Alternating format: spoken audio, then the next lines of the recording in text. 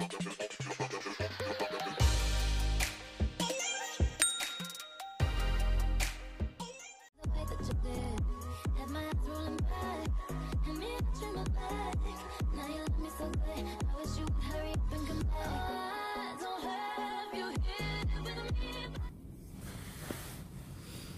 guys, welcome back to my YouTube channel. So welcome back to my YouTube channel guys. Te, paulit-ulit lang. Paulit-ulit. Nag-alarm na yung phone. So it means to, we need to get up to have our breakfast. So this is our second day. Second day to sa hotel namin. So guys, samahan nyo kami and let's see kung ano yung mga breakfast dito sa hotel namin guys. See you later guys. Bye! Morning guys! Good morning! Oops! Kumakain na siya huli. So guys, tara samahan nyo kami. Punta na natin ang breakfast. Should not bring anything. Oh, si Doggy. Doggy, doggy, doggy!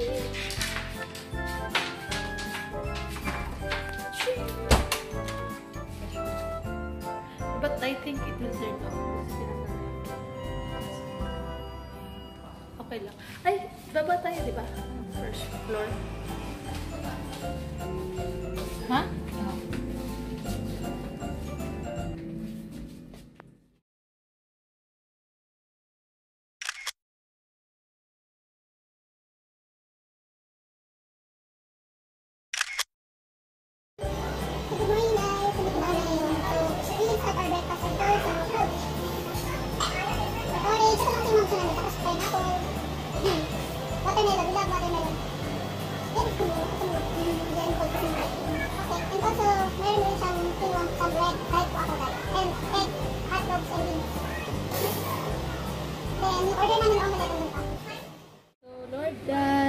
worship your holy name, Jesus. Lord, we pray, Panginoon, that may you bless the food that we about to eat. In Jesus' name, pray. Amen.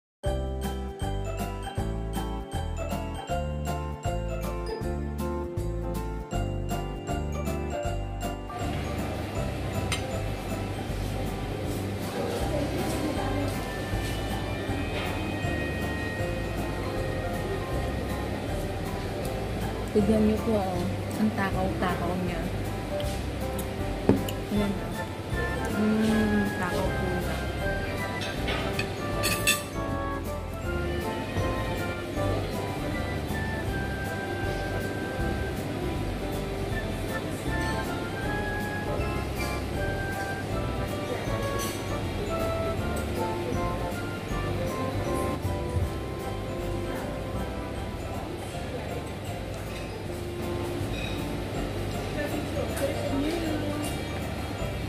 So guys, kumuha din ako ng wedge potato.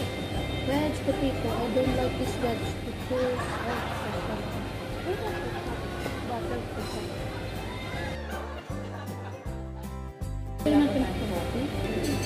So guys, ito na order namin ng omelette with cheese and with onion and ano lang. O kasi with cheese, ito yung sa kanya. So ganyan pala dapat.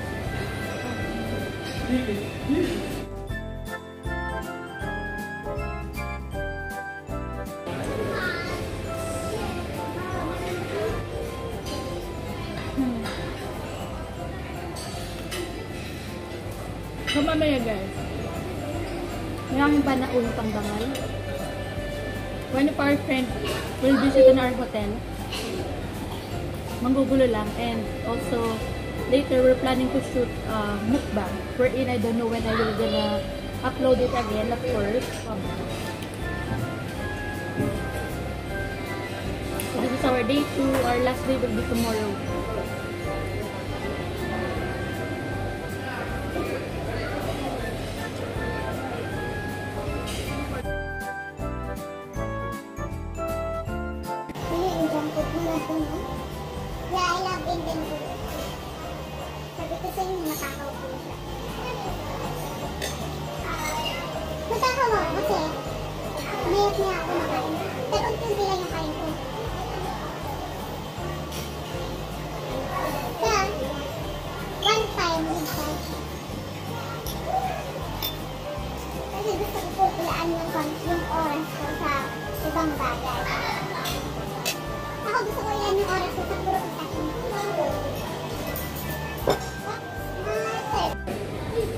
Before that, of course, as we all know, hindi kumpleto ang araw ng karamihan kung walang kape. Kaya guys, hindi na nakalo ka muna kami kape. Bye-bye! So guys, we're back. So ayun nga, kumuha na ako ng coffee. Sa akin coffee, dun sa friend ko, uh, green tea. Siya di mas healthy living siya sa akin, pero ewan ko. Lagi siya yung may.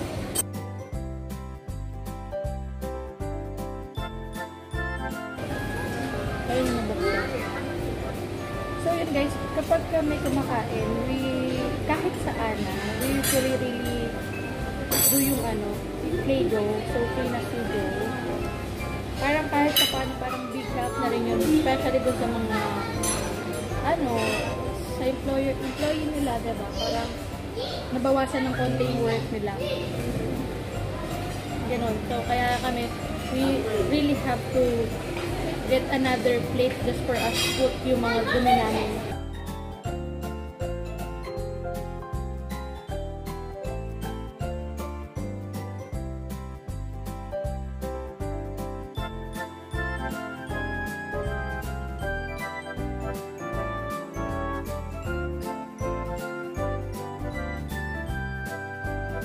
Yun. Plain yogurt. Sobrang sarap yan, guys. Uh, Technique. Yeah. Ako kasi hindi ako masyado sa dairy siya. She love it. So, usually yung ginagawa niya. Di ba nilalagyan din niya ng honey sometimes? Ano? Ah, sugar. Ngayon, so sabi ko, ayoko niya kasi parang walang lasa. Tapos parang siyang, ayun na yun, basta hindi ko sabihin. So, may pinatikman siya sa akin, which is nakain ko. Ayun nga, nilagyan niya ng sugar. Ay, ang sarap. Try niyo yan, guys. Healthy yan. Yogurt. And also, she have here feta cheese. Oh, man. Yeah. Feta cheese and fresh cucumber. Ano, ano? Usually, gumagamit yung mga locals. Hindi, hindi. Kahit, kahit ano, oo, pero yung Arab people, they love that. Pero kahit na yung, yung boss ko na ano dati, sumakay love ng feta cheese.